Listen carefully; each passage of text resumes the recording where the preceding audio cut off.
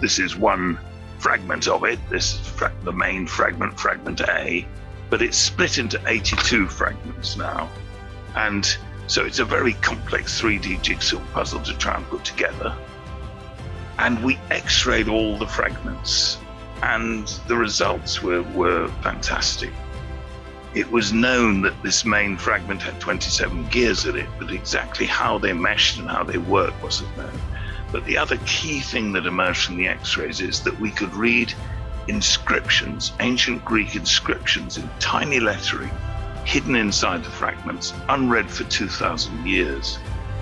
And these inscriptions told us that the previous reconstructions of the front of the mechanism, this cosmos display at the front, were wrong.